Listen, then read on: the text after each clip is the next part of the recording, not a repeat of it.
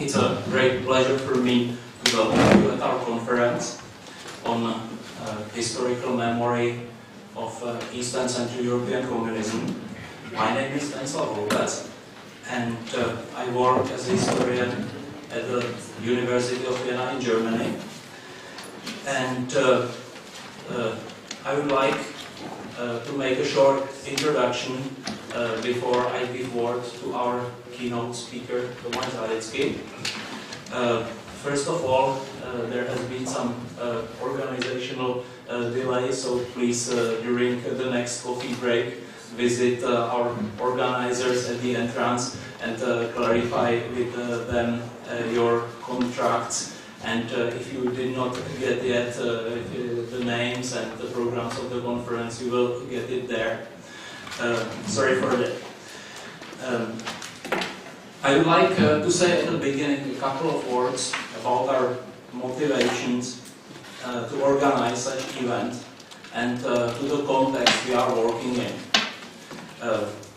I think we all know that memory studies is kind of booming field within social science and memory of communism is, uh, or better said, memory of communist movement or communist rule is widely discussed topic in Central and Eastern European academia. Uh, actually, why to deal with a phenomenon which is more than 25 years now dead, probably forever. Uh, I think the main ambition for us to organize this event was to kind of challenge the hegemonic memory on communism, which is uh, actually drawing the black and white picture of the past, like uh, cruel and uh, stupid regimes against uh, courageous and uh, brave circles of dissent. And this picture is too black and white for us so there is a need uh, from our side to speak about something like a counter memory. And uh, similarly, picture of post-communist period is kind of black and white, like either during post-communism everything becoming more or less normal, or if there are some problems then because of uh, allegedly still lasting influence of communist elites which made the things not to develop so well, and so on. Um, I think it has been especially after 2000 uh, that we can speak about something like return of memory to the political discourses in Central and Eastern Europe. Actually, this is something uh, surprising because uh, more or less in early 90s everybody was thinking like uh, during the time we will forget more and more about uh, communism and uh, as our countries will be becoming a function, functionally, functioning uh, democracies. But this did not happen. Uh, why? Uh, I think the explanation is that actually when the narrative of the 90s on successful modernization and create, creation, creation of Western-like democracy, when this narrative failed, then uh, there has been an empty space for a new narrative which uh, would be able to explain this failure. And uh, this explanation that this is because of the long shadow of communism with influences lasting and being deeper, so this uh, narrative proved to be very attractive. So we have since uh, 2000 uh, many manifestations that uh, there is something changing and that the memory of communism becomes very central in our region. Uh, I think second reason for this return of history is as well the changing role of Russia, uh, which under President of Putin, uh, under President Putin become again something like more power with more uh, ambitions and uh, it has been perceived in Central and Eastern Europe as a kind of threat and association of Russia with communism is still strong in our region. So this could be a second reason for this return of uh, uh, memory. Uh, I think uh, after 2000 we could see many manifestations of this return of memory. We can see a creation of uh, uh, memorials of communism. I have uh, here, which one was it? Yes, there, one. This, this one, this is from Prague, Memorial of Victims of Communism from 2002, so-called Zombies, it's, it's nicknamed or uh, we can see probably most notably this Hungarian House of ter Terror, which becomes almost a temple of anti-communism. And uh, I must say, in comparison to this, uh, Prague Museum of Communism looks uh, more or less like uh, Disneyland or like uh, museums of wax figures or museums of medieval tortures. So uh, uh, this is uh, more this this this is nothing serious, and um, as well the social crisis in Ukraine since 2014 showed us that addressing problems of anti-communism, communist past is still very vivid. we have seen such tendencies as outlawing of communism in Ukraine, prohibition of Ukrainian Communist Party, uh, destroying uh, statues of Lenin, and so on. Um, similarly, the protests in Bulgaria or in Romania in the years 2012-2013 actually uh, were very often in a sign of uh, anti-communist attitudes, uh, like uh, the protesters on the streets of Sofia or Bucharest often called the ruling elites as communist, which uh, means that they associated like uh, the powerful oligarchy with still, uh, with still communist in power. Uh, this is, uh, however, contrasting with the public perception in Central and Eastern Europe of communist era, which we know according to sociological surveys that uh, public uh, still considered in uh, most of countries the communist past, especially 70s and 80s, as the most successful era in their family lives and uh, in era in uh, the, the, history of these countries, which is, uh, I would say, a, a surprising, uh, a surprising discrepancy. Uh, now, a few words uh, about uh, the Czech context, because this conference is taking place in Czech context. Uh, uh, as, as you probably know, Czech Republic has certain similarities and certain differences from the rest of Central and Eastern Europe.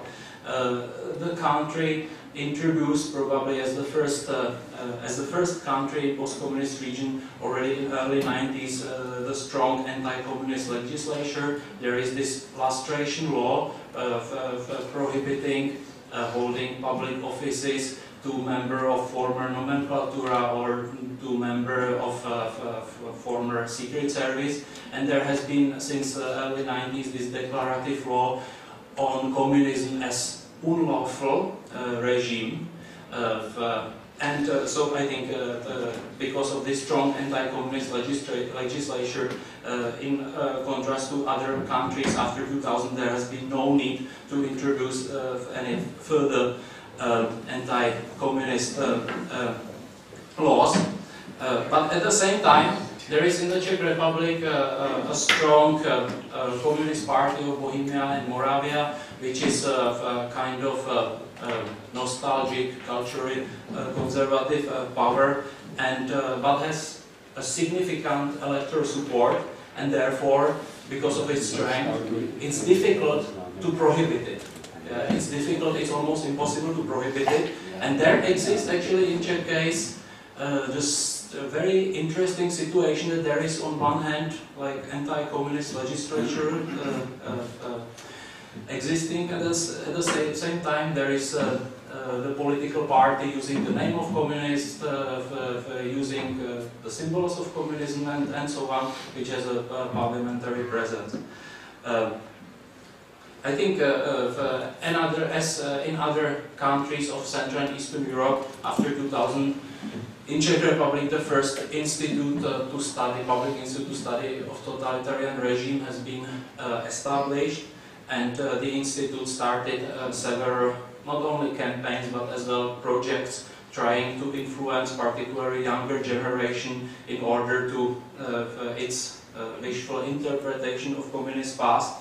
And uh, the institute has particularly the support of the right-wing government being uh, in power since 2006, 2013, and uh, it started several uh, campaigns show, showing the crimes of communism and the danger, particularly the danger of forgetting them and also several NGOs uh, become involved, as you can uh, see on this picture.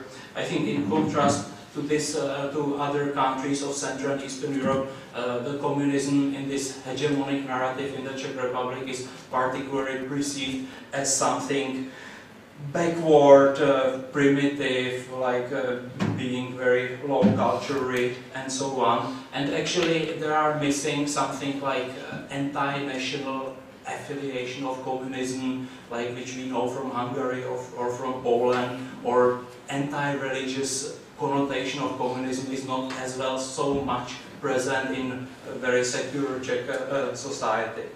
Uh, however, uh, in spite of uh, this very strong anti-communist campaigns, uh, the reaction of public has been rather lukewarm and uh, it shows uh, that uh, in, especially in the last 10 years the anti-communist campaigns in Czech Republic were unable to mobilize a significant support of the public and uh, it seems that anti-communism is particularly in Czech case very strong among middle classes or educated, uh, uh, educated people or uh, in Prague, among young generation, among students and so on.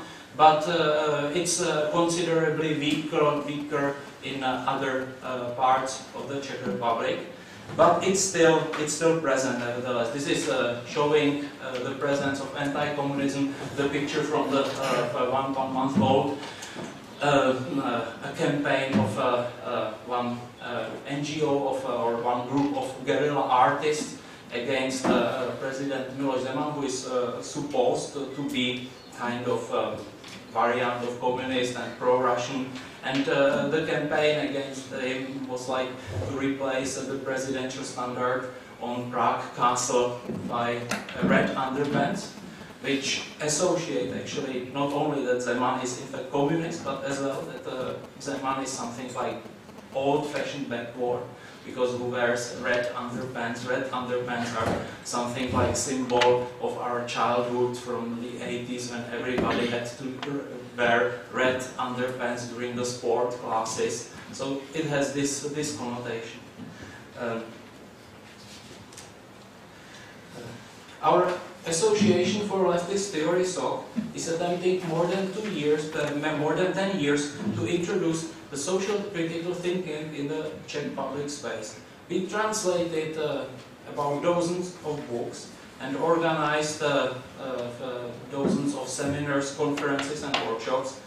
And uh, our main ambition is to analyze the contemporary capitalism and uh, its and the alternatives to it uh, mainly based on uh, contemporary social theories, uh, the names like um, um, Immanuel Wallerstein, Althusser, Lacan, Badiou, Kaczmarek, Tamas, and so on.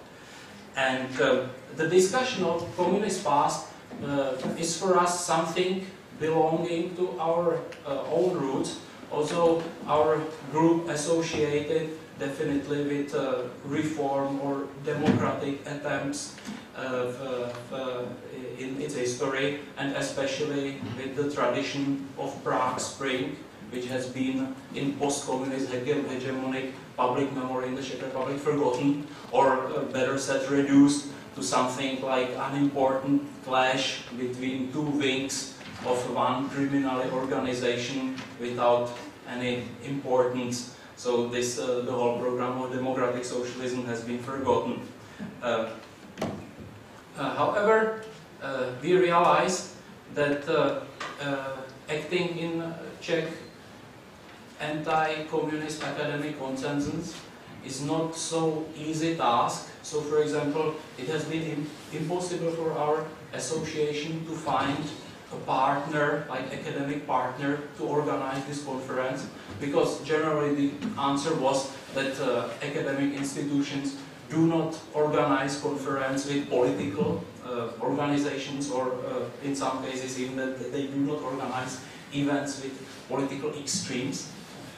So uh, therefore uh, uh, we are the only organizer of this event.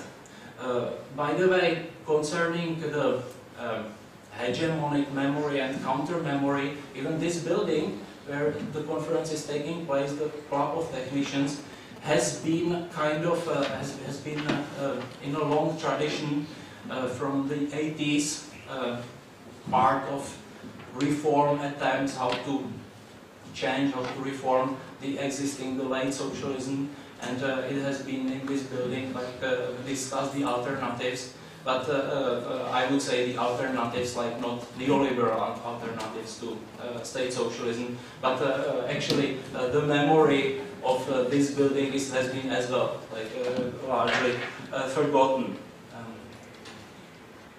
Um, now, before I give the word to Tomáš, uh, several words uh, to uh, the structure of our conference.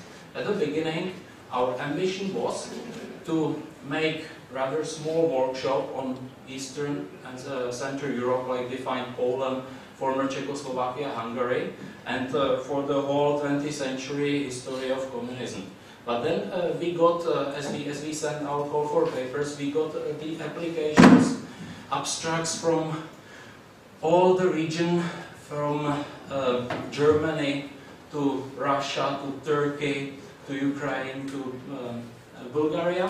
And we decided to do two things. We decided to change the geographic scope of our conference and to enlarge it. So we speak about Central and Eastern Europe in broader sense, like uh, from uh, Berlin to uh, Moscow and to Istanbul.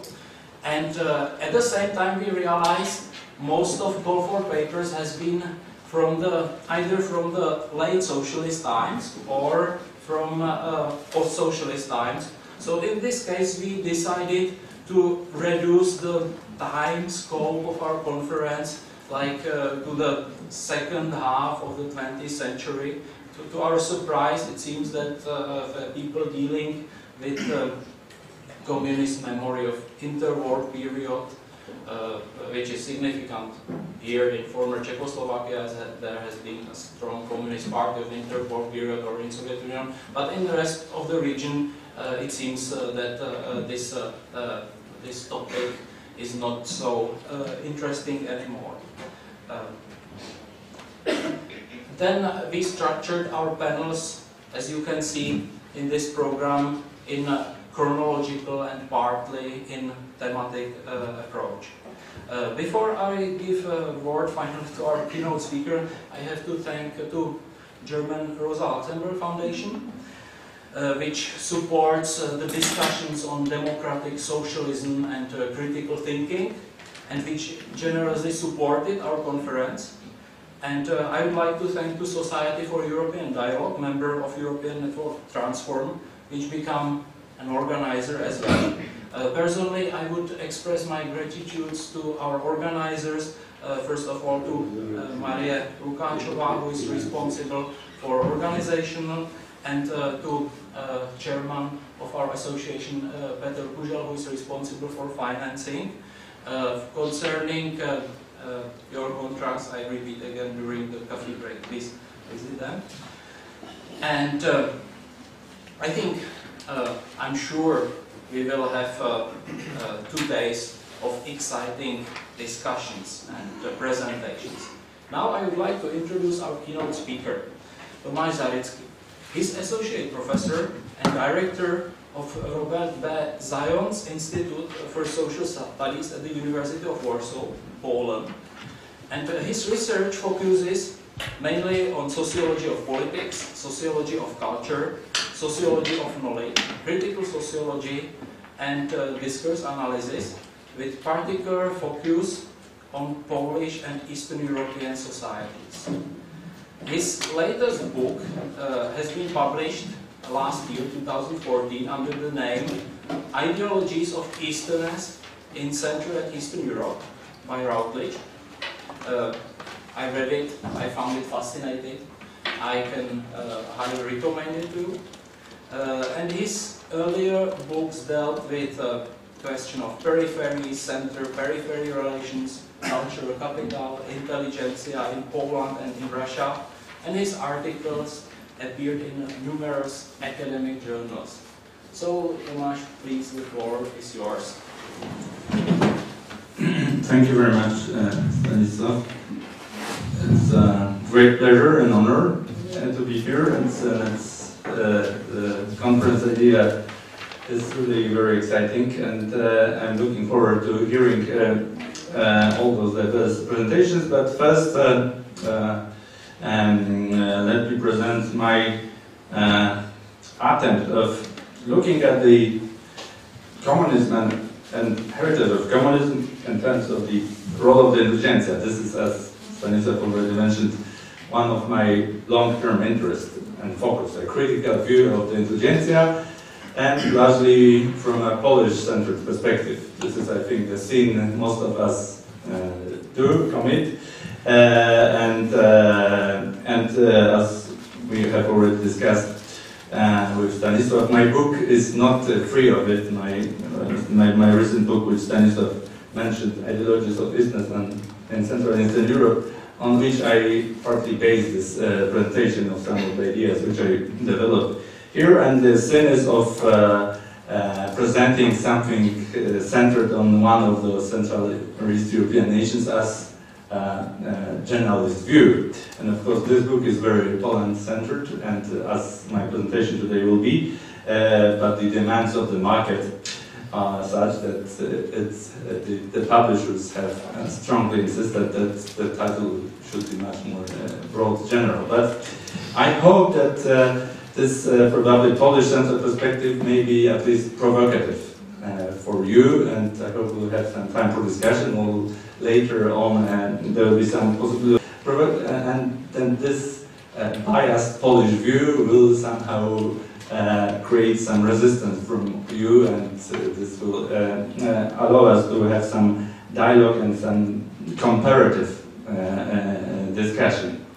And my perspective is largely based on the world system theory, which I think we share with the fascination which, which we, share with uh, Stanislav. Uh, and uh, so in this framework, Central Eastern Europe is seen as a periphery of the world system, and the intelligentsia is seen as a specific peripheral elite. And uh, um, then the communism uh, is seen as a peripheral uh, ideology of, of, of, intelligentsia, which can be moreover seen as a comprador uh, uh, class. And this is especially, this argument is especially clear, or I, I would resist, uh, insist on it, especially regarding the status of the anti-communist ideology. That this, this, this, as I will later on develop this point of view, that, that, that anti-communist ideology could be seen as very clearly an intelligentsia ideology of compensatory nature, of in the terms of compensating the peripherality, having the function of compensating the peripherality of the region in relation to the Western core. Uh, more difficult question would be with the communism itself. To what extent communism could be seen as a compensatory uh, uh, ideology? And in my approach, besides the classical Wallerstein's uh, notion, I strongly rely on Pierre Bourdieu's uh, uh, theoretical framework, uh, especially with his uh, way of defining capital, the three basic types of capital, economic, uh, cultural, and political or, social, and the notion of field of power as a substitute for the traditional term of elite. Field of power as a more neutral term for uh, uh, discussing the social field in which the representatives of all type of elites of a given society negotiate the terms of uh, functioning of the society. Especially this is mm, this notion of field of power seems important or useful uh, for discussing the uh, production of the dominant ideologies. The field of powers could be seen as a place where elites negotiate and define the key uh, uh, basic key notion on which the ideological system is based, and especially the key cleavages, key divisions along which the social conflicts are defined, are negotiated in the field of uh, uh, power. And uh, the, I am uh, following uh, Wallerstein and several other theoreticians in the assumptions that in the modern world system, this is the economic capital, which is the dominating mode of domination, as Bourdieu would say, uh, which implies that all other modes of domination are seen as secondary or compensatory. But this is, this calling something compensatory is a normative statement. And, and this is largely my view on intelligentsia. I see intelligentsia and its ideologies as, as compensatory which is of course critical and can be seen as normative, but my assumption is that in a given historical moment and in this state of the world system, the economic capital is the dominant one. So this allows me to call all others form of domination, especially political and cultural, as uh, compensatory. So this is the uh, these are the three types of capital produced in Bourdieu system, uh, economic, social, and political as its special form and cultural. And I rely here also on the uh, uh, book uh, by Ivan Szelényi and Julia and Eleanor Townsley, uh, uh, in which uh, making capitalism without capitalists, in which they proposed a way to apply those three types of capital to, interpretation of the social transformations in, the, uh, in, in, Central and Eastern Europe.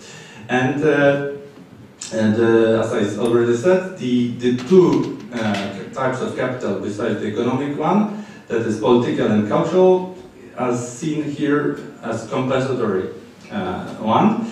And the political capital uh, can be linked to the idea of the strong peripheral state, and it's uh, related to the political, strong political elite, especially in the communist uh, context, it's the nomenclatura, it's, it's, it's, the classical form of this uh, uh, political elite. And there is the cultural capital with the classical cultural intelligentsia uh, as the dominant uh, elite. Uh, and here I'm proposing to call these two types of elite as dominant elites of the dominated regions, to uh, alludes to Bourdieu's uh, uh, way of calling the cultural elite of the Western countries as the dominated faction of the dominant class. And the, this two ways of compensation, on one side political, for which Russia seems quite typical, and on the other side cultural dominant compensation, for which Poland, as I'm arguing, is quite typical. Uh, uh, could be linked to the peripheral status of the countries in question, and especially their inability to uh, develop long-term accumulation of economic capital, uh, and which is also related to inability to develop strong uh, uh bourgeoisie. And I'm proposing to look uh, at the process of development of intelligentsia and those compensatory uh, ideas uh, uh, through the, the, social processes which were taking uh, place in the 19th century. And of course, the development of intelligentsia is the key process in the 19th century. the classic theory of intelligentsia says that this is the result of the inability of peripheral capitalism to absorb the descendants of the petty nobility which was transforming slowly into this feudal class, into this specific strange or uh, uh, the, the, or the new class of the cultural uh, uh elite, uh, for which the state was the uh, main source of employment. and this was also related to the relatively weak uh, nature of the peripheral capitalism. And the intelligentsia was developing two competing ideologies, sometimes competing, sometimes complementary. The, the, left, different left uh, cosmopolitan, uh, uh, emancipatory ideologies, and the national uh, ideologies. Uh, and and during the 19th century, I would argue, four, four types of the fractions of the elite could be uh, singled out. The old conservative imperial elite, the declining landowners, the rising bourgeoisie, and the intelligentsia. And uh, the specific characteristic of the region, as I argue, is the weakness of the bourgeoisie, uh, which would normally rebel, especially against the uh, uh, conservative elite and the landowners, but in many cases, especially which was quite clear in Poland, it was rather siding with the aristocracy or landowners. Uh, although part of the bourgeoisie would also flirt with the uh, intelligentsia. Uh, so the bourgeoisie, the bourgeoisie was weak and, and divided into uh, a part uh, which uh, was siding with the conservative landowners and the other liberal part of the bourgeoisie, which was rather oriented towards the intelligentsia. And from this perspective, I propose to look at what was what is happening in Poland in the 19th century. So this is where, uh, as you can see, Polish-centered uh, analysis. Uh, but anyway, in uh, in Polish history of 19th century, the uprisings are the key developments. And here I propose to uh, look at the uh, three uprisings, two national and one more general 905 uh, uh, revolution as uh, the processes of uh, conflict of, uh, of clash of two, uh, two, two types of elite. One based on economic capital and the other, the intelligentsia, based on cultural capital. this this is, this is quite an, an orthodox reading of the Polish, especially national uprisings, although it's not absolutely new one. Uh, by the way, the Rosa Luxemburg, who is the patron of the, our sponsor, was one of the first uh, uh, uh, proponents of this view of the national Polish national uprisings as the clash of the bourgeoisie with the cultural elite. Although the two first uprisings, the 1930 and 61, were uh, in fact uh, uniting both factions in the rebellion against the Russian imperial power, but there was a very clear split between those two factions. And I'm here using the labels of those two factions which were used in the, the so-called January uprising on 1861, the whites and the reds. The whites were the landowners and the bourgeoisie, which was very reluctant to join the uprisings, and they paid the highest cost. And the Reds were the uh, radical intelligentsia who were the main uh, initiators and the stronger proponents of the uh, uprisings. And the official reading of the uprising, the first two national uprisings, is that they were disastrous uh, because they were lost technically, but the, the more general reading could be that they were very clearly won by the intelligentsia, by the cultural elite, because the costs were mostly borne by the capitalists, the economic uh, elite, the, the, the, the, elite which was clearly linked to the imperial state elite and which which paid the highest price in terms of the land, land confiscation and other economic uh, losses. And the last 905 uprising uh, had uh, completely different character, but again there were two, these two fractions were visible, and in this case it was only intelligentsia that joined the 905 uh, uh, uprising. The, the, economic elite was, was very clearly its opponent. Uh, but again, it, it, it, it, it paid high price for it, and the 905 uprising, although in theory the intelligentsia members would say that it was again a lost one, In fact, it, it elevated the intelligentsia elites, both nationally oriented and those left, communist and socialist, to the fore, to the center of the uh, political game in the, in the rising uh, Polish and not, not only Polish nation, uh, national spirit. So my argument is that all those uprisings main effect was the gradual nationalization of the economic elite and the rise of the intelligentsia, and communism was here one of those key ideologies of intelligentsia, uh, along with socialism and, of course, different national ideologies. This was, of course, the period of the birth of nation uh, states, and, and Rosa Luxemburg was arguing that, uh, that national ideologies are those uh, compensatory uh, fake uh, ideologies which would serve the capitalist class.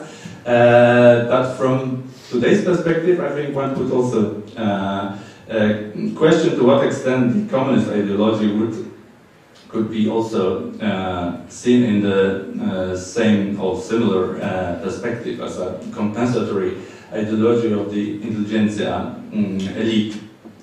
Uh, and then we have the key revolutions of 1917, 1918.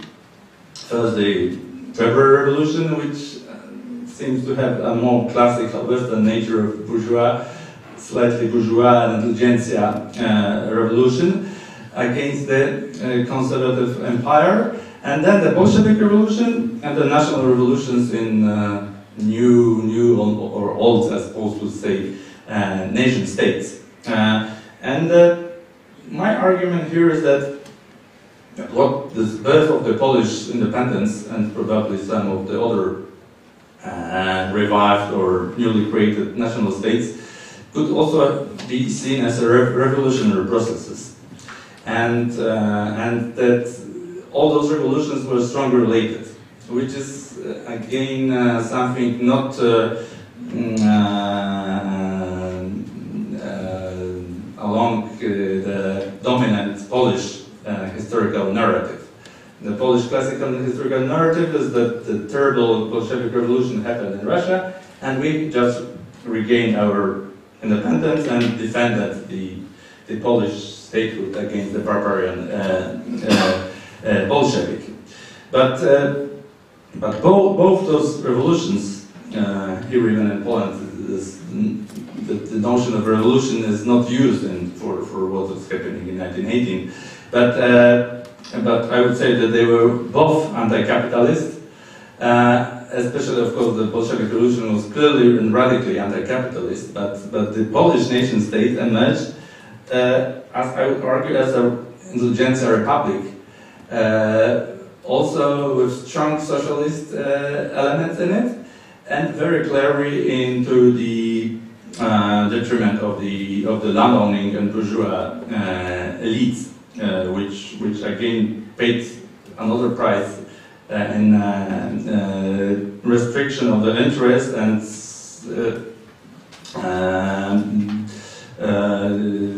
and loss of assets and in, in, in, this process.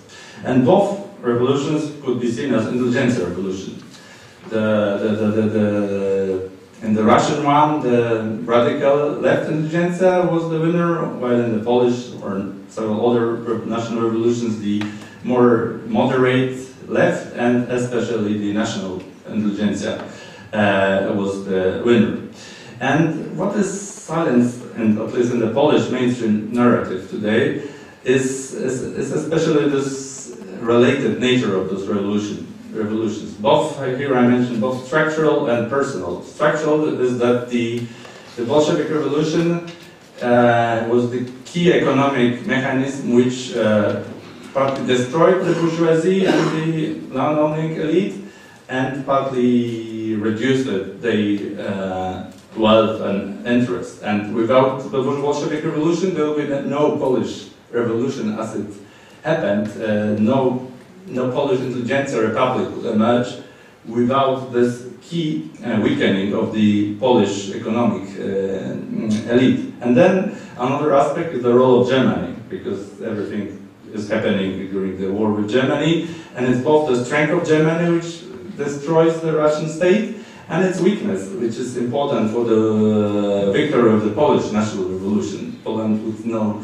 probably not emerge in the form it emerged in 1980 without the uh, loss of the war by uh, Germany. So, the, so I see here a very ambiguous uh, image of the Bolshevik Revolution, uh, uh, which, which is related to the peripheral nature of, of, of, Russia, its weakness of the state, of the bourgeoisie, uh, its largely lost war with Germany, by the brutal character of the capital, peripheral capitalism of the, Russian Empire.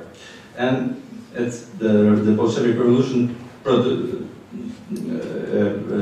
effects in quite different outcomes in different part of the uh, region. On one side, the strong Soviet state, on the other side, the national states uh, of intelligentsia in the Central Eastern Europe, and all of them, as I would argue, could be seen as compensatory. So so I am trying to compare these two main uh, paths, and the Polish and the Russian after the uh, Bolshevik Revolution. The, the Russian one would be, uh, in Bourdieu's terms, uh, following the political capital as the key compensatory uh, attempt, uh, asset, and the Polish path would be the cultural capital based path uh, with the intelligentsia as the dominant, as I would say, until today hegemonic uh, elite, with, uh, with two interludes, and, especially the, the late uh, interwar period in the 30s, the so-called sanacja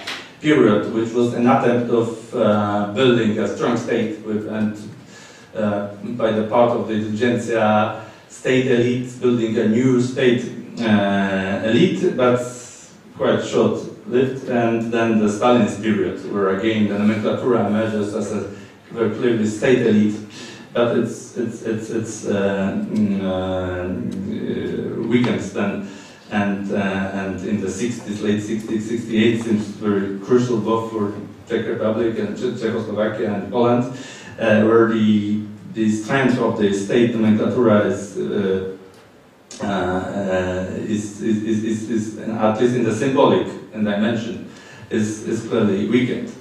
Um, so we have the Russian case where the communist ideology is the key uh, uh, legitimization of this intelligentsia project and and the the Polish and other national uh, where the uh, nationalist ideology is the legitimization of this rise to power of the intelligentsia sometimes with the socialist elements, as was the case in the early uh, Second Republic in uh, Poland.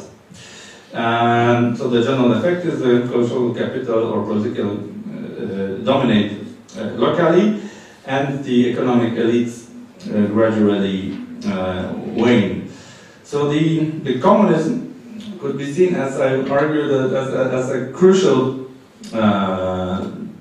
process allowing uh, the final uh, victory of intelligentsia over all other com uh, competing elites, especially landowners and bourgeoisie, which are almost eliminated.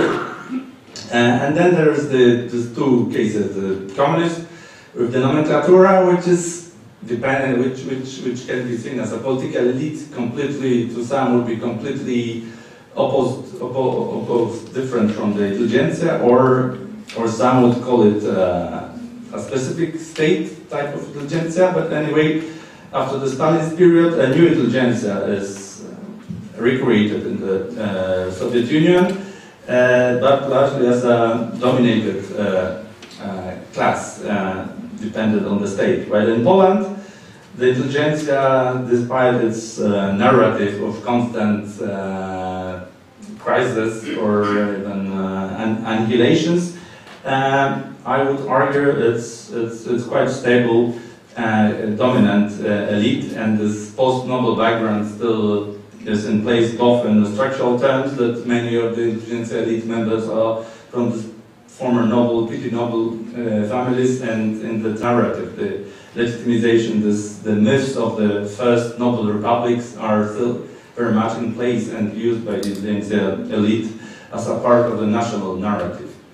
And uh, here I would like to refer to classics, to the Jan Wacław Machajski, like, uh, as a very early critique of the Soviet intelligentsia, as a, also, I would say, the comprador class, as a new uh, dominant class, and which uh, took over the uh, revolution. He argues that this is the fate of all revolutions, which were based on the mobilization of working class, dominant, dominated classes, but then uh, uh, the, the, the, the, elite, especially the intelligentsia, is stealing the, uh, the momentum and uh, transforming the social demands into political demands. By the way, Machajski is a very good example of this related nature of the Polish and Bolshevik revolution. This is one of those very, very many Polish intelligentsia members who switched basically to the Russian uh, cultural sphere and became a citizen of the Soviet Union. Although uh, he was not very popular among the Soviet elite, he was an opponent of the Soviet uh, regime, but, but he, he lived in Soviet Union and all his writings and, and Russian. So it's not only Felix Dzerzhinsky, who is very well known in Poland as a Pole who made the, one, one of the builders of the Soviet Union, but this, this group of the intelligentsia which was moving between Polishness, Russianness, and like Rosa Luxemburg, also Germanness, uh, is quite uh, numerous. And, and today's reading, main, at, least, at least mainstream reading of those processes is very nationalized we are talking about Russian communist and Polish uh, brave national intelligentsia, which saves Poland against uh, the Bolshevik uh, uh revolution. But when we look at the actual people, the biographies, it appears that, that they quite often know each other and the, the fact that they became the leaders of the two completely or two more, several different opposing camps was to a certain extent an um, just uh, uh, accident, accidental in a way. So Machajski is a pioneer of the uh, critics of the new class, which then the, this criticism develop, develops, and I, I, would see myself as a heir of this uh, way of thinking, the intelligentsia self-criticism and accusation of, of intelligentsia members as, as myself uh, of, of the intelligentsia as such, of being this uh, comprador new dominant class exploiting the masses, which are just used to justify uh, the, the takeover of, of, of, of power or either under communist socialist slogans or nationalist uh, uh, slogans. But, uh, but, but in a broader terms of the world system analysis, all this enterprise is just a way to uh, justify, to legitimate the, the dominated position of, of, the, of the countries in question. And here I wanted to make a, a, a broader argument about the nature of this, uh, what would you call the field of power. And uh, the, according to Bourdieu, the classical structure in Western countries, he was first of all writing about France, but this could be said about probably most of the, uh, the strongest capitalist Western core countries. The, the field of power is defined by the position of the economic dominating, dominating economic elite, the bourgeoisie, and the cultural uh, dominated uh, class, which basically defines the right, right left uh, um, cleavage. And to some extent, this was the case in the 19th century this opposition between whites and reds in Polish uprising was to some extent this kind of uh, opposition. They, they, they, they, they, finally, both sides joined the uprisings of the 1830 and 1861, but, but, but they were, the interests were uh, opposed to that uh, extent. And then in the process of the, those uprisings and then of all Bolshevik revolution, the economic pole basically disappears. And what we have, we have this compensatory idea of political uh, class, strong state, the communist state in this case, as a compensatory uh, project. So the field of power becomes uh, uh defined in the communist and slash, to some extent post-communist period by the opposition of this dominate, dominant political elite and the, the, the classic element is the Russia, with the Kremlin as the symbol of political elite, and the cultural dominated uh, uh, opposition, uh, which after 68 gradually becomes oriented towards the West. Uh, and, uh, uh, and this opposition is quite different from the one described in this classical left, right-left mm, scheme. And finally, I uh, I, I, am uh, arguing that uh, more general model of the peripheral field of power could be proposed, which describes the most of the peripheral states, which are divided again not along this classic uh, uh, economic versus cultural elite, which is right-left, but again along the attitudes towards the domination of the Western core which produces the two fractions, the, uh, the anti-core elite, which quite often uses this political capital as its key compensatory resource, the, the idea of building a strong state which will resist the capitalist oppression from the core, and the pro-core elite, Westerners, Zapadniks speaking Russian, uh, in the Polish uh, case, uh, uh, they would be dom dominating uh, while in the Russian case,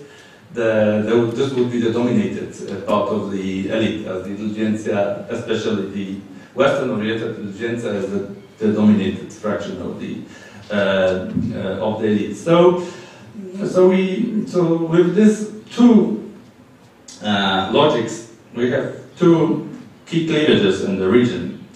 Uh, the the one which I discussed uh, just now resulting from the domination of the global pole, those oriented towards the west or towards the uh, resistance towards the global uh, domination. And the resistance is based either on idea of the using political capital, strong state, or cultural capital, as is the case with the Polish intelligentsia.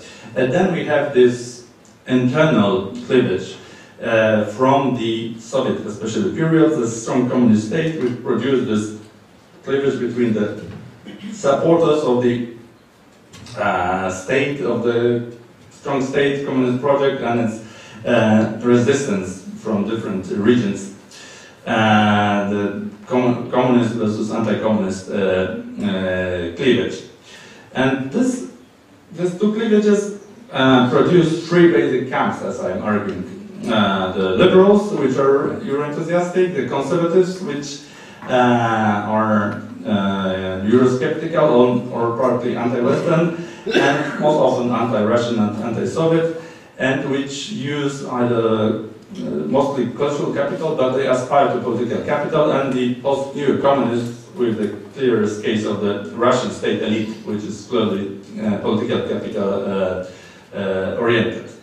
And we have the three key zones uh, the first one is Central Europe, where, which is the inner periphery of the Western core, the intermediate zone of the uh, former Soviet countries, like uh, especially Belarus and uh, Ukraine, which would be seen as interface periphery between the uh, Western core and the secondary Soviet or Moscow core, and the first zone, Russia, and its close countries, which is, would be seen as outer periphery, or this classical cleavage between westernizers and uh, Slavophiles uh, is uh, dominant. And for the two zones, first two zones, the uh, anti-communist ideology is now the dominant one, as I would argue. And I see the anti-communist ideology as a, as a type of what I called in my book ideologies of Eastness, that is a broad uh, Um, um, uh, uh, uh spectre of the different ideology, ideologies which somehow compensate or aspire to compensate the dominated peripheral character of the of the of the Central and Eastern Europe. And ideologies of Eastness, as I hear, I'm trying to explain or interpret as saying that we are almost Western, we are Western on the level of our identities and legacies. We are self-sacrificing ourselves for the West. We deserve the respect from the West.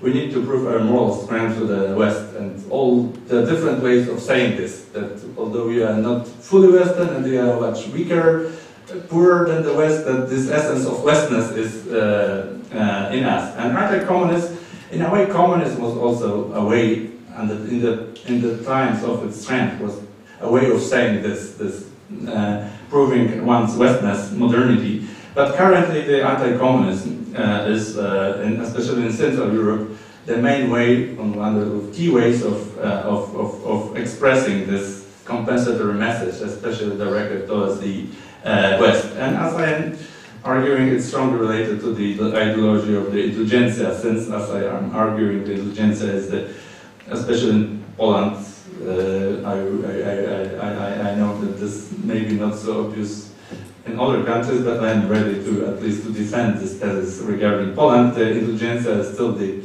dominant uh, uh, elite, which is, of course, several, most, maybe even Poles won't agree with me. Uh, so the there's the the three camps and the liberal ideology uh, of uh, Eastness is uh, the pro-Western one is very clearly based on this anti-communist uh, component, and then related to the catch-up modernization and the cult of the intelligentsia, previous generations of the intelligentsia, the old great intelligentsia members, um, who are the, also the viewers of this anti-communist uh, uh, spirit. But then we have the opposing conservative ideology of uh, which is again in Central Europe based on the very same anti-communist ideology, uh, conservative modernization in contrast to the catch-up modernization, imitative modernization of the liberals, but again on the related strongly to the cult of the old intelligentsia, the old heroes of the intelligentsia who are the viewers of this anti-communist uh, uh, spirit. And the third camp, the post and neo-communist ideologies, are not uh, the exception, but in, you won't find them in Poland, as Stanisław said, there are some traces of them in, in Czech Republic, but they're strongest in Soviet, former Soviet countries, especially Russia, to some extent Ukraine, Belarus, where they would refer in a positive way to the Soviet uh, uh, or communist uh, heritage. But going back to the Central Europe, especially Poland, the communist legacy is very clearly seen and used as uh, this negative heritage, which is the key interpretive framework for the entire uh, region and has a very, uh, uh as I would argue, orientalistic character in this perception of the communist as something Eastern, uh, as a sign of uh, culturally defined backwardness. and and I see in this resistance of the post-communist past, I see a, a contradiction between uh, argument that the, all the problems of the region are related to its communist past, but on the other hand, the same people quite often criticize the uh, uh, elites of the region for being too much obsessed with the past. Anyway, the, I think it's important for many of us, it's obvious, but, uh, but important to emphasize this inscription of the communist past into the key narrative opposition of the Orientalist uh, scheme. This is, I think, the master narrative which still rules over the entire region and several other peripheries of the West and defines this, uh, this uh, binary uh, senses of, of what is rational, what is irrational, which is, uh, which is good and which is bad. And, uh, and, and, and communism was in Central Europe strongly inscribed into the scheme, and I think this is the, one of the powers of this uh, anti-communist narrative, that this is, for most of the people, is, uh, is uh, automatically seen as, the, as, as, as, this element of this opposition, and it's, so it's very difficult to challenge, because the old rationality of the social transformation in the region is based on this Orientalist uh, idea of uh, escaping, escaping from the irrational east to the rational uh, uh, West. So, slowly concluding my argument, uh, is uh, maybe not very original, but this that, that the, the, the idea of uh, anti-communist and interpretation of the communists as the main uh, reason of all uh, of the region problems is uh, largely uh, compensatory and provides legitimation to the old neoliberal reforms, and in particular of the takeover of the economic assets by the uh, Western uh, uh, companies, Western bourgeoisie, what would say, and placing the liberal intelligentsia in the position of the intermediaries, could say, comprador elite. And in Poland, very clearly, this uh, process uh, took place. Maybe, maybe this was a radical case of such a successful uh, uh, takeover of the of the of the major um, part of the economy by the international uh, companies and uh, uh, victor of the intelligentsia as this intermediary. But but anyway, it seems that the story of the post-communist anti-communist is very clearly related to this uh, economic uh, process. And here these three zones are reflected. Uh, Warsaw and typical for Central Europe, where the anti-communist was very early uh, defined as the ideology of uh, uh, legitimizing the transformation, the Ukraine where the contest is still going on, and the Russia where the monuments still uh, stand. Uh, so in, in the Polish case, there was a very clear failure of the old nomenclatura to place itself as the, at least, new elite, not even a new elite, which was of the dominant elite, as it was uh, the case in Russia, but even as a dominated elite. Basically, the, the, the nomenclatura was uh, absolutely unsuccessful in uh, the uh, takeover of the, of the economic uh, assets. And this this was, uh, as it appears, as it seems, a very clear intelligentsia, liberal intelligentsia project to provide this scenario to happen. There was from early post-communist period, there was a clear uh, program to provide, to prevent what was called political capital to, to happen in Poland. And intelligentsia dominated governments very clearly allowed the uh, takeover of the major parts of the economy by the Western companies with the clear idea of uh, preventing them to be controlled by the, by the local former communist uh, elite. And also this was seen and legitimized by the anti-communist ideology as a, as a best way to achieve modernization, westernization, democratization by avoiding uh, to this emergence of the, of the, of the local bourgeoisie, which for the most of the intelligentsia would necessarily be built by the former communists.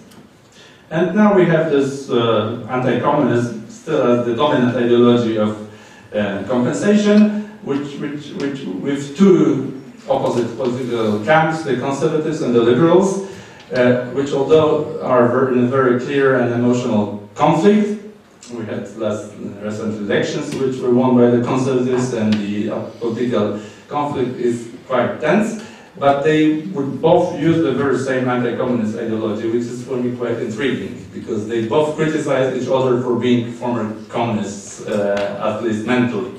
And this mental cultural uh, interpretation, I think, is very important. The communism is now mostly defined in Poland in terms of mental her heritage, cultural heritage. And both camps of the intelligentsia, both the conservatives and the liberals, uh, aspire to clear the opponents and the inclination of this uh, mental um, uh, heritage, uh, which is defined as the key uh, impediment for modernization of Poland. This is, uh, I think, a, a very characteristic feature of the of this Polish society, where where the, the, the, cultural factors, even psychological factors, are defined as the main uh, structural obstacle for modernization of the country.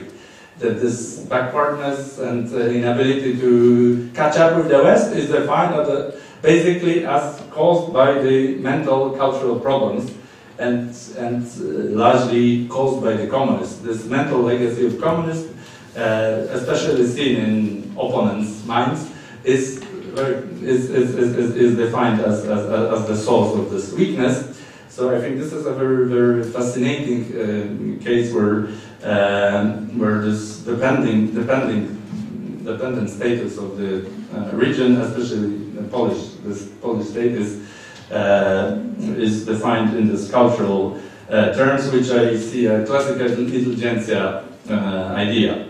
So some conclusions.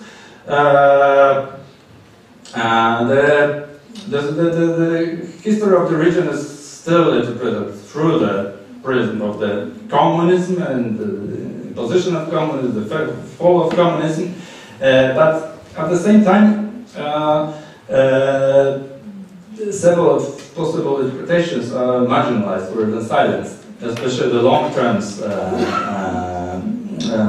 interpretations which would show what the world system theory shows, that there is this persistent dependent peripheral status which uh, has changing narrative, changing legitimizations, and changing uh, elite configurations, but it uh, still remains uh, in place. And that the Bolshevik Revolution was indeed very crucial, but in, not only in the way in which it was interpreted here as a great catastrophe, tragedy of the region, but also as a key moment of the uh, reconfiguration of the field of power of the, the, the, the, the fall of the capitalist uh, elite and the rise to power of the intelligentsia elite, which, as I'm arguing, especially in uh, uh, uh, place. Uh, so the so so so this is this um, argument that uh, that that that, uh, that anti-communism is as I mentioned, the the, the, the, the, compensatory ideology of the intelligentsia as the possibly comprador actor. And of course, the question would be to what extent this could be said about communism itself, especially in the days of its greatest success. This, this probably could be a, quite a questionable uh, argument, but I'm leaving it.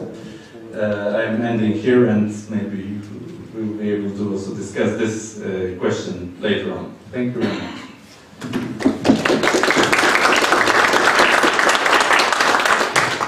Thank you to much for your presentation and also for keeping the time limit.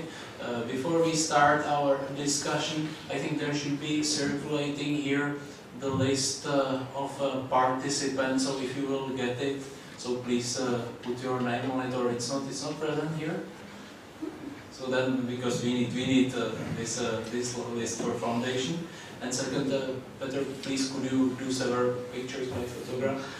Um, okay. So we have now about uh, 25, 20 minutes for discussion. So the floor is open. Please. Polish Academy of Sciences. Uh, I uh, thank you for this uh, very interesting lecture. And I have two comments, let's say. The first one um, is, struck me in your analysis of intelligentsia historical role that it was that it was done totally from the intelligentsia perspective, or uh, rather, uh, you know, Polish intelligentsia perspective. What I mean was that uh, you focused on the role of, let's say, uh, traditional intelligentsia, namely this uh, cultural elite, uh, and you almost totally or totally erased the new, let's say, working intelligentsia, which was the uh, product of uh, socialism. And uh, namely, what I mean, the, the, working intelligentsia was the one derived from the peasantry and the working class. And so what I, I, I, would like to ask uh, how you see its uh, role as new, uh, working intelligentsia, working class intelligentsia, on the map of your presentation, map of this relations um, the role of intelligentsia, and not to mention the uh, interactions with other classes, namely the peasantry and um, the working class itself. So this is my first, let's say, comment and question. And um, the other thing is um, uh, what I, let's say, missed in your uh, presentation, the lecture, uh, was the, the description of, uh, let's say, two general attitudes uh, toward the role of intelligentsia, uh, in uh, which we can uh, uh, present uh, or uh, put in the tradition of the Polish leftist thinking. Namely, that the first attitude is the one, uh, let's say, derived from Brzozowski and uh, uh, uh, thought, namely, uh, what, how uh, how they seen the intelligentsia role. They seen that uh, intelligentsia was uh, a sort of a guide to the masses, uh, which was supposed to enlighten the masses, the peasantry and the working class. It, uh, its role was to provide them with education. Namely, this uh, intelligentsia role was the leading role, yes. Uh, but there was also the other attitude, and this one was represented by, uh, mentioned here, uh, Rosa Luxemburg, and uh, how she's seen the role of intelligentsia. Generally speaking, she, she considered intelligentsia uh, a supportive class, let's say. Uh, the intelligentsia was to give masses the tools of fight, yes, to assist uh, uh, the masses in the, uh, in the process of gaining political consciousness. So its role was supportive. In the first attitude, this Brzozowski, Żeromski, uh, let's say, tradition, the masses and the intelligentsia were like two distinct classes, two separate classes. But in the uh, Rosa Luxemburg uh, thought, uh, intelligentsia was supposed to be more open to the people, let's say, the masses. Uh, its role wasn't uh, to block uh, the aspirations of these uh, uh, masses. And uh, if we follow the, the history of how it how it developed in Poland, we will observe that till half of the 60s in Poland there was a growing percentage of uh, educated people, uh, of uh, children, uh, uh, of peasants and working class, and their aspirations and opportunities of um, achieving these aspirations were growing. Uh, so what does it mean? This means that uh, this uh, openness to the aspirations of working class and um, peasantry, let's say, and the floor to uh, uh, create, to appear uh, uh, the, the new intelligentsia was more uh, was more open. Yes.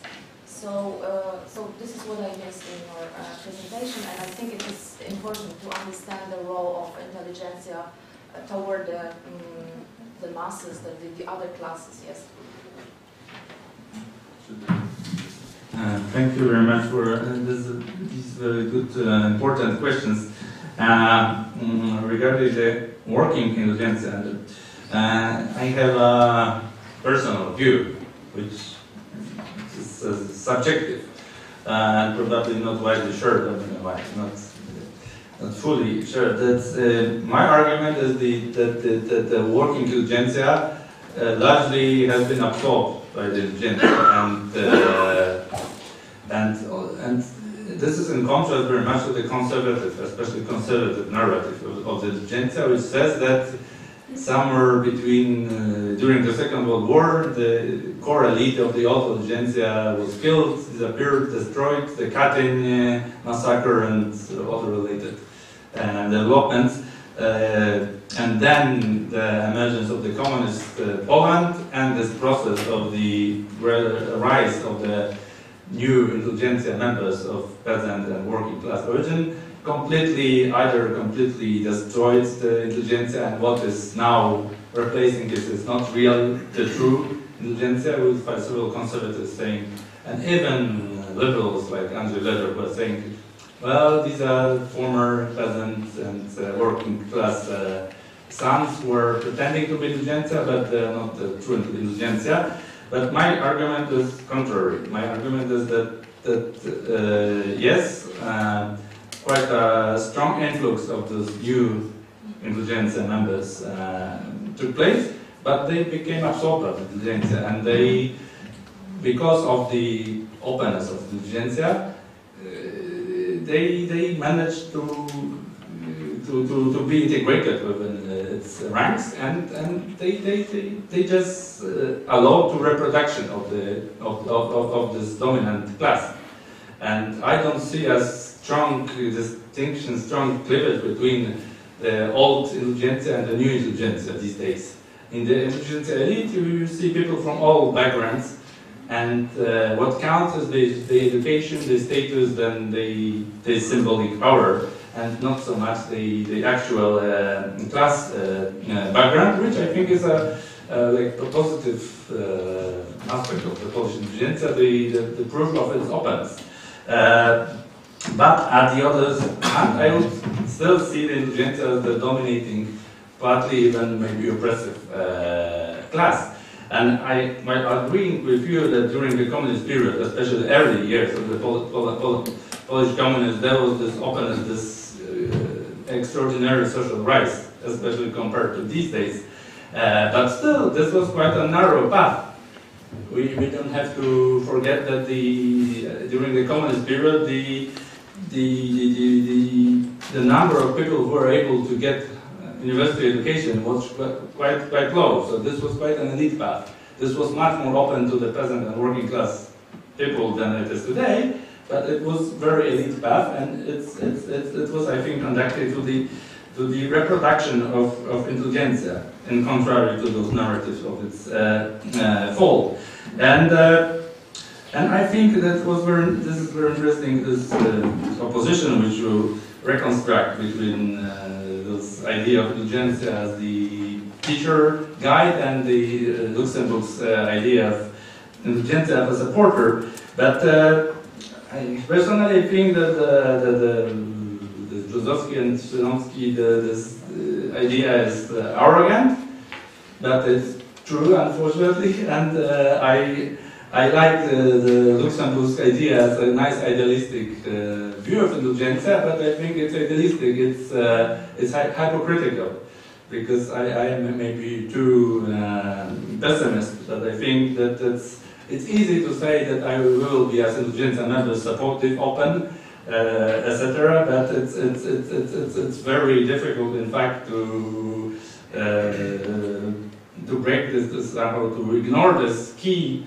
uh, distinction between the members of the elite who are privileged, who are members of the, the power, and the, the masses who, who, who can be uh, uh, theoretically called the ruling class or the most important actor in society, but uh, but in fact there will be always a hypocrisy in the intelligentsia discourse. So I am not excluding myself from this hypocrisy. I, I think it's a very difficult position to be intelligentsia member because it's easy to criticize oneself and others, but it's very difficult to be really supportive and fully open.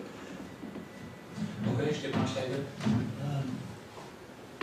what struck me was that while you were speaking about the period before the Bolshevik Revolution, you were using a lot the word of elites.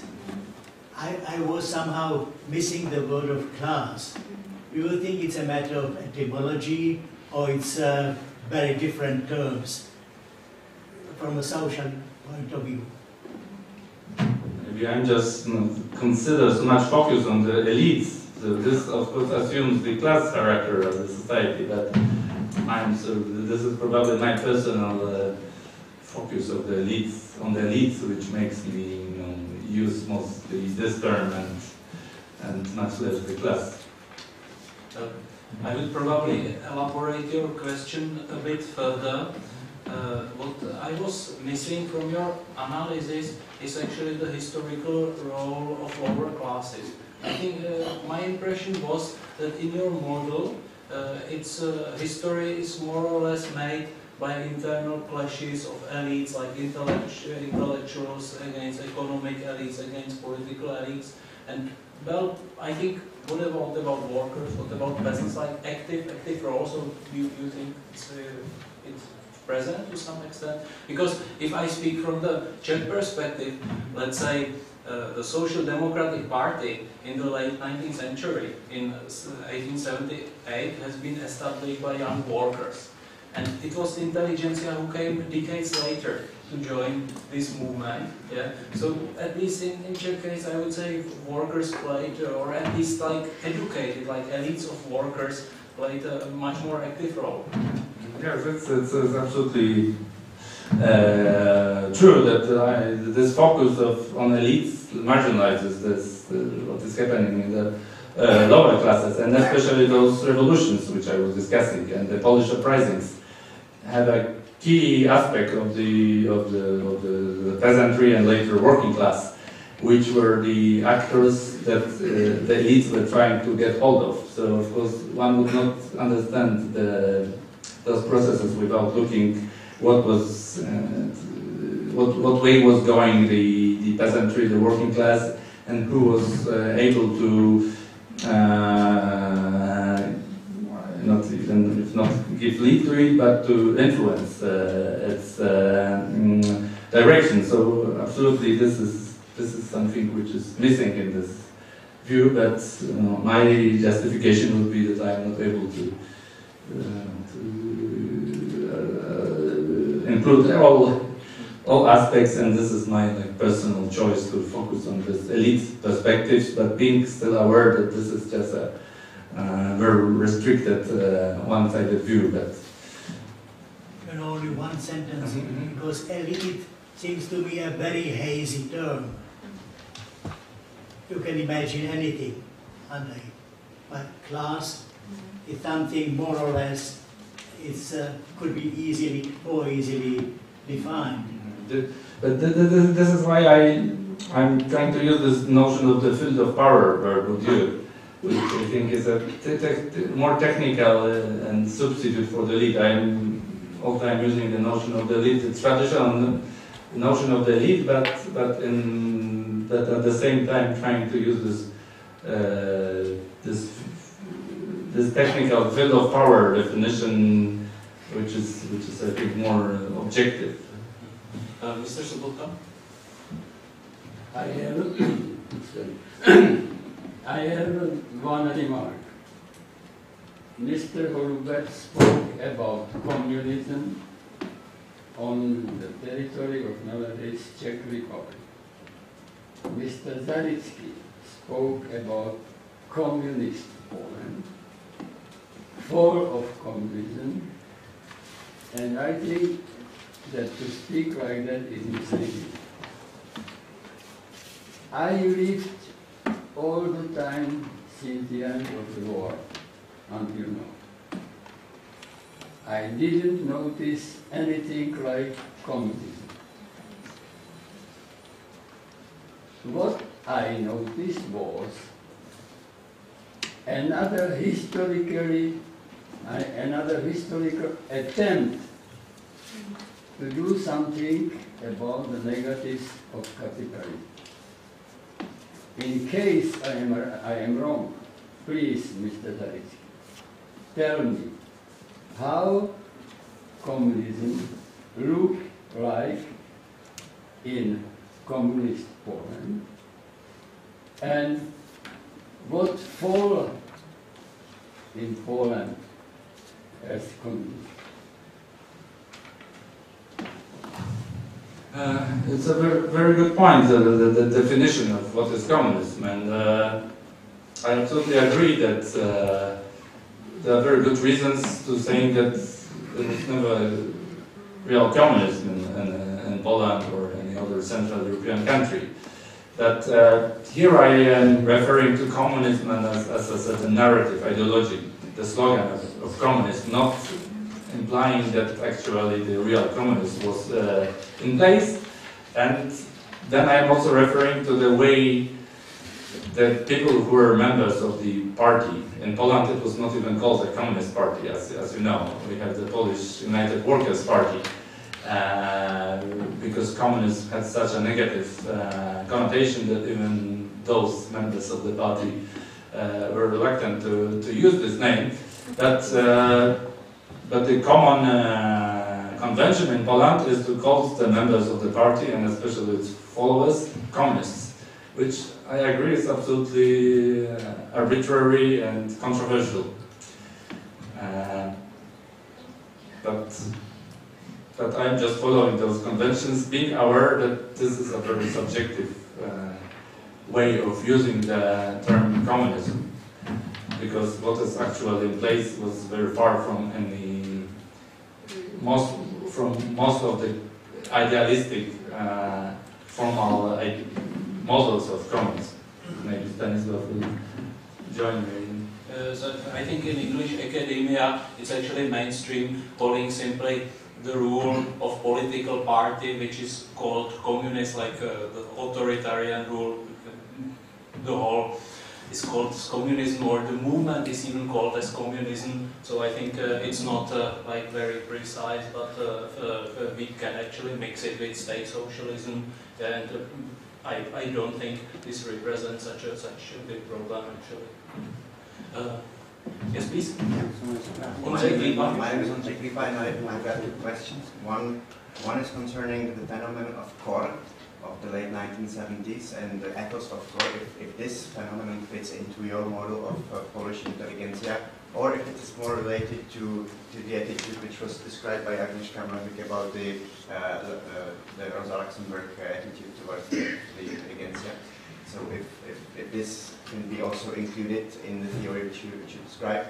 And the second question... You should say what is KOR. Uh, co- uh, Komitet obrany robotníků, the uh, committee for uh, for defense of uh, of the working class. Uh, I don't know what's, what's the official English, English translation of that, but uh, something like that. And the second question is related more more to the uh, to the deeper history. Uh, I was wondering if, if you can find some uh, some uh, examples of this uh, compensatory ideologies of intelligentsia even in the uh, pre-1970s, so ni- 19, uh, uh, 19th century uh, period. So before before the ideologies of communism and nationalism appeared. So I was, thinking about the I don't know ideas of uh, Sarmatism, of antemurale and, and stuff like that. If, if this can be also uh, to some extent like uh, described as a compensatory idea uh, ideology of, of intelligentsia, if you can find find some traces of your model in in these uh, in these older uh, examples. Mm. Yes, um, absolutely. This um, those classical uh, ideas of Sarmatism or Antemurale Christianis can be seen as compensatory, but the, the question would be: uh, Are they were they the ideologies of intelligentsia? Because at the time they were developing, there was no intelligentsia yet, rather this nobility. Uh, but then they are still used by the conservative intelligentsia until today. You have the Catholic Poland as this again antemurale and has this uh, strong spirit of, of independent uh, uh, Sarmatian uh, mm, noble elite. But regarding KOR, the Committee of the Defend, Defend, Defense of the Workers, which, if I am uh, correct, I imagine 76 or 77, uh, well, it depends I think it's the, the, the answer would be political, depending on how do you like them or not. If, if you like them, you would say they were those idealistic, positive actors like the Rosa Luxemburg type people who were not uh, imposing anything, but just helping the workers and uh, being supportive uh, for the uh, uh, working masses to win the revolution of solidarity. But then you have the critical point of view, which says, like following Machajski uh, interpretation, that this was again another intelligentsia, arrogant uh, elite, which uh, was using those slogans of support of the workers. They were actually even supporting a bit then during the communist period. But once the communist was uh, uh, gonna uh, Defeated. defeated, uh, they would uh, take the place of the new elite and become again arrogant and and uh, this, the whole enterprise would again be this com- compensatory uh, legitimization of the rise to power. Uh, I think to some extent this is the this this interpretation is presented by David Ost is, is in his book Defeat of the Solidarity. Maybe he's not focused with so much with the KOR people. Maybe he, uh, I, would have to ask him, he would, he would say the KOR people of those idealists were, most of them were uh, mm, uh, loyal to the idea, but generally he, he presents very nicely this critical narrative of the intelligentsia who betrayed the uh, revolution and uh, uh, used it as, uh, as its way to achieve the power. But, but let me now just remind you that those KOR people are still, most of them are still in the, the, the, the, the key members of the Polish field of power.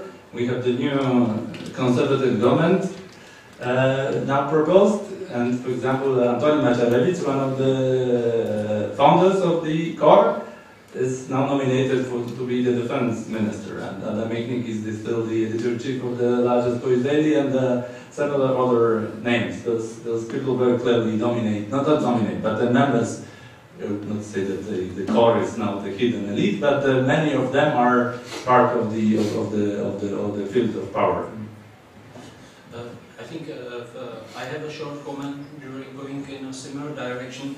I think what was striking for me in your argument is actually this focus on, uh, I would say, two biggest countries in the region, like Poland, is a big country, and Russia, again, a big country. And I was wondering if uh, the, your model can work well for a majority of countries which are, in fact, very small countries. This region, if you look to the map, it's a region of the smallest countries from, from Europe, like from Al- Albania to Baltic countries. And uh, I was thinking uh, there is probably a difference in identification of political elites with the program of their own national state, which is probably very strong in Russia or in Poland, but I do not see actually very strong identification of uh, Czech political elites with the, with the strong state. For them, I think it's more or less the way how to enrich themselves. But something like national program, I, I would say, I would say it's it's more more or less that, yeah. And uh, similar, like if you say that, mm, according to you, post-communism is kind of period dominated by intelligentsia. I would say in Czech case, yeah, 90s when the dissidents, the intelligentsia came to power, they, then there have been uh, numerous in parliament, in government, but nowadays, I, I don't think intelligentsia wants to be involved very much in the politics. And I think uh, the Czech politics has been overtaken by entrepreneurs or by, by their, their lobbyists, their, their allies. And uh, you, uh, yes, yes. So, so you, you can uh, see it like uh, even from sociological analysis of political elites, like number, let's say, of uh, mm, professors like declining in parliament and, and so on and so on. Uh, so I was I was wondering to, to which uh, and my second point, uh, I think uh, what what you have shown that there is very limited space, and you are I think hopefully correct, very limited space for developing something like emancipatory democratic radical left in the region, because these three camps, conservative, Stalinist, or post-liberals, are like too strong and the space among them is too narrow. And uh, so uh, I'm wondering if you if you see here any perspectives, like especially if we compare our periphery with another periphery in Europe, I mean Southern Europe, with its tradition of right-wing dictatorship and so on, where is this radical left from Turkey to Portugal to Spain very, very strong. Yeah? And so, uh, again, periphery, but so different political cultures. So how come?